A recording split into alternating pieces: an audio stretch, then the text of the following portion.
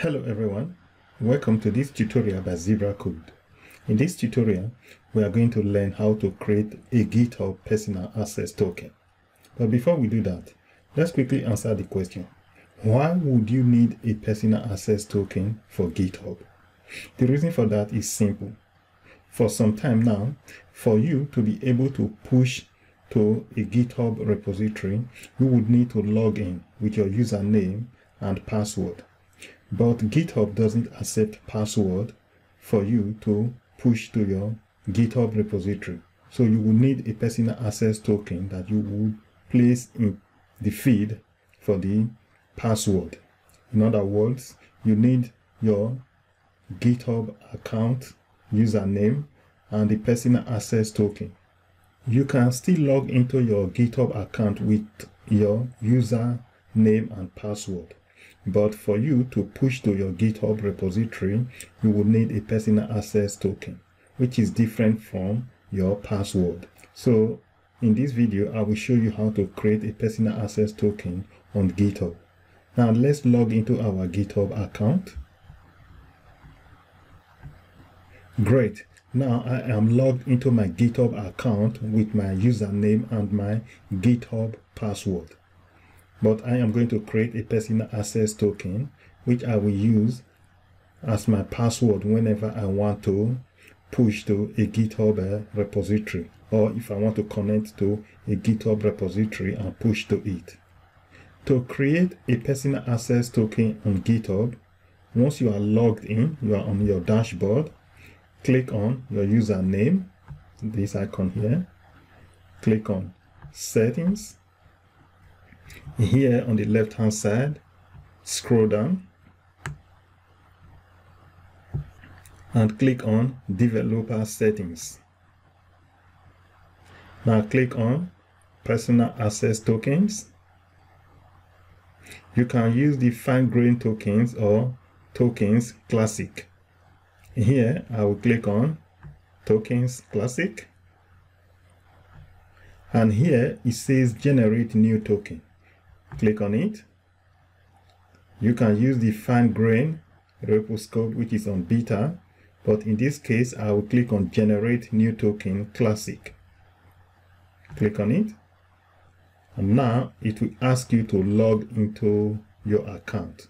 This is access confirmation. In this case you need your github normal password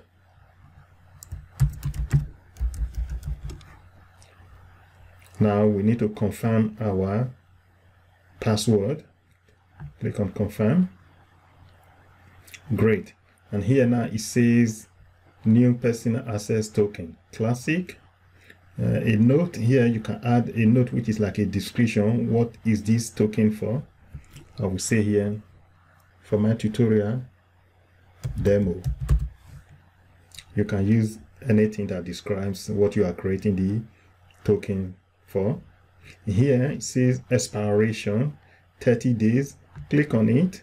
You can choose 7 days, 30 days, 60 days, 90 days, or custom. If you click on custom, you can specify how long you want the token to be valid for. It can be one year or longer. You can also click on no expiration. For this video, I will click 90 days. And here now it says the token will expire on this date so whatever you specify it will show here.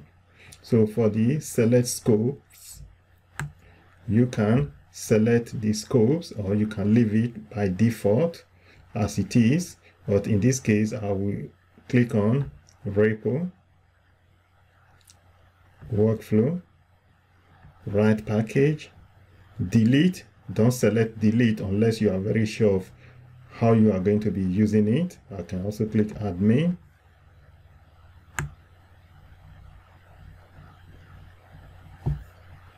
And I will click user and notifications. So that is okay for now. Now click on generate token. Great. And here it says tokens you have generated that can be used to access GitHub API. Here, this is your token. Copy it.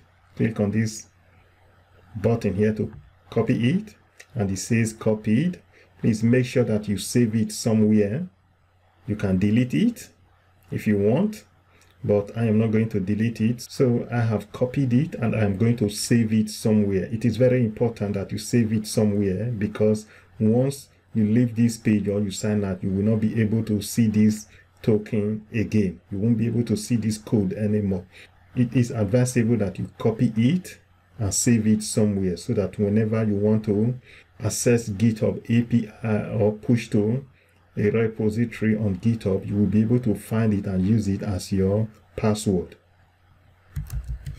Great. This is my token and I am going to save it so that whenever I need it, I can always find it.